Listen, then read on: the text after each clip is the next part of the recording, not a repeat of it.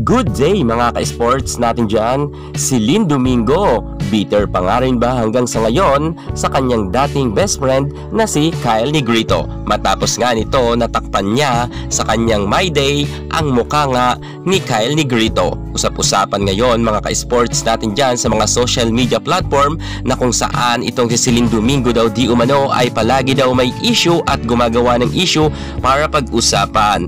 Akala ng karamihan daw ay okay na ang dalawa pero eto mga ka-sports sa My Day nga ng ating Siling Domingo ay tinakpan niya nga ang muka ni Kyle Negrito. Ito mga ka-sports ang itinuturong dahilan pa rin ay si Tots Carlos. Napakagwapo talaga ni Tots Carlos ating aalamin hinggil muli sa issue sa dating mag-best friend at sa mag-ex na si Celine Domingo at si Tots Carlos. At ano kaya talaga ang dahilan kung bakit tinakpan ng bandera ng Pilipinas ang mukha nga ni Kyle Negrito sa My Day ni Celine Domingo. Alamin ang buong detalye. Kung bago ka muna sa aking YouTube channel, huwag kalimutan i-like, i-share ang ating video at mag-subscribe.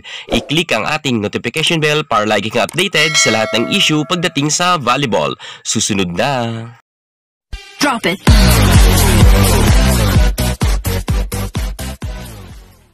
Celine Domingo, trending muli matapos ngang takpan ang mukha ni Kyle Negrito sa kanyang My Day. Alam naman natin mga ka-sports natin dyan na dating magkasintahan si Tots Carlos at itong si Celine Domingo at malalim rin ang kanilang mga pinagdaanan. At sa kanilang ang naganap na breakup, alam naman natin rin na talagang nagbigay ng kanyang opinion or naglabas ng sama ng loob si Celine Domingo matapos ngang malaman niya na si Kyle Negrito ang ipinalit sa kanya. Saksi noon ang mga fans ni Kyle Negrito, Celine Domingo, Tots Carlos sa pangyayari nga ng kani-kanilang hindi pagkakaunawaan.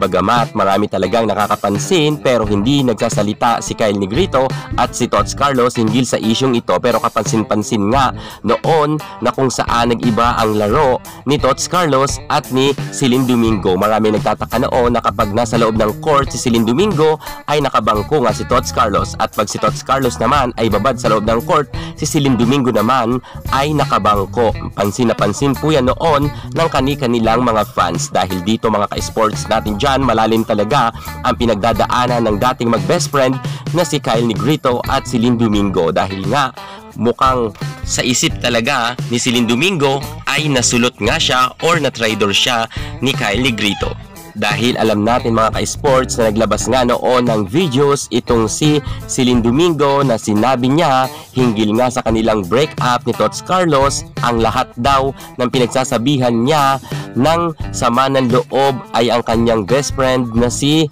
Kyle Negrito tapos malalaman niya lang daw ng mga ilang linggo ay mag-on na daw itong si Kyle Negrito at itong si Tots Carlos. Feeling talaga dyan ni Celine Domingo ay na-traidor siya. Sobrang sama ng loob noon ni Celine Domingo at sa kanyang ngang binitawan salita ay talagang malulutong sa isang videos na sinabi niya nga mga ka-sports na totally black daw sa kanya ang mga taong mga pinagkatiwalaan niya tapos ay feeling niya talaga na inisahan siya. Kung kaya mga ka-sports natin dyan, samot-sari naman ang mga opinyon ng kani-kanilang mga fans na sinasabi naman na bakit daw naghihimutok pa itong si Celine Domingo, gayon break naman daw sila na ni Tots Carlos. Okay lang naman daw kung sila na ni Kyle Negrito, mas okay pa nga raw to dahil best friend niya. Pero syempre mga ka-sports, iba naman ang mga sinasabi ng mga fans ni Celine Domingo na feeling talaga ay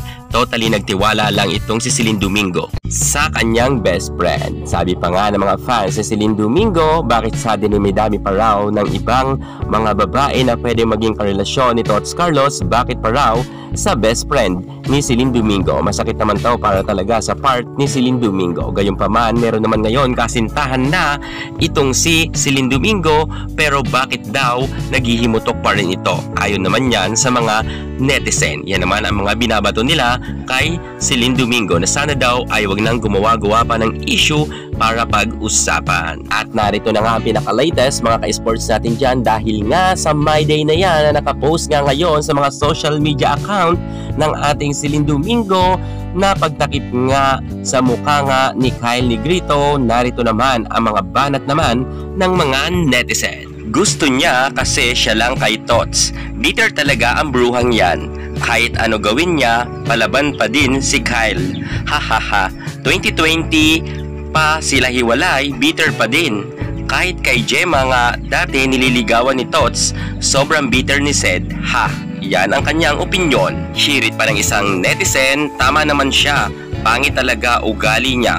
Masyadong pabida. Akala mo kung sino ano magagawa niya? Ayaw sa kanya ni Tots, ate, para hindi niya magselos, Totga at Kyle Litots, lumipat na lang siya sa ibang team.